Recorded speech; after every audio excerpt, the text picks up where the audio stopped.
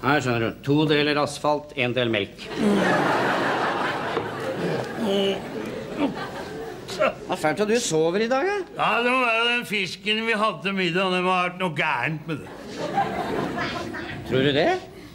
Ja, det, den må ha vært fiska i sånn forurensa vann.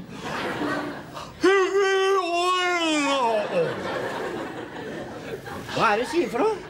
Jeg hørte en historie i nyhetene her forleden. Ja. Ja, der, der var det et parti torsk som hadde forgifta lever. Å, sier du det? Ja, vi har vel fått i oss en av dem, vi da vel. Nei, de selger jo ikke sånn fisk, da, vet du. Ja, det gjør de vel? Ja, det, det, du, du kan jo ikke se utapå fisken at den er giftig, vel? Og torsken sier jo ikke noe, for den er jo dau.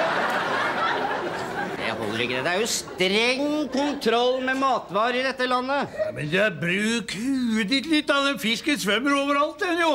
Og, og litt oljesøl her, og litt industriavfall der. Og så er den innom kloakken. Å, fytti rakkeren. Ja. Du sier noe.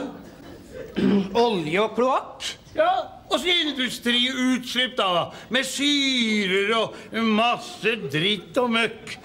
Kutt ut da det. Jeg begynner å se tåkete nå. jeg. Vær stille. Jeg tror jeg skal få i meg et par Dispril, og så går jeg til sengs. Ja, det skulle du gjøre, det, men, eh, men eh, skynd deg litt, da. Mm. Pokker òg, jeg hadde tenkt å se det der eh, programmet om Rembrandts siste leveår. jeg. Ja, Det er trist, det, men du vet, det er helsa først og fremst. da, vet du, så Løp opp på badet, du, nå. Det er synd at ikke han får- kan få sett det Rembrandt-programmet, men det går jo eh, samtidig med landskampen i fotball.